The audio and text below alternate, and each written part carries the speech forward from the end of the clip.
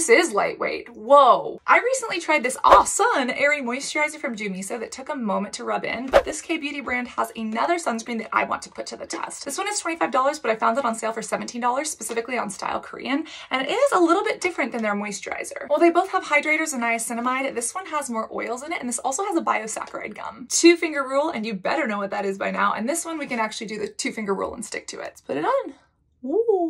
They said it was lightweight. This is ultra light. They were not kidding. Oh, got some in my eye. Oh, it's already stinging. Ow! I'm gonna have to wear it throughout the day, but so far it blends in much easier than this, and it is much more lightweight. Just be careful if you have sensitive eyes. But on first impressions, yeah, I'm liking it.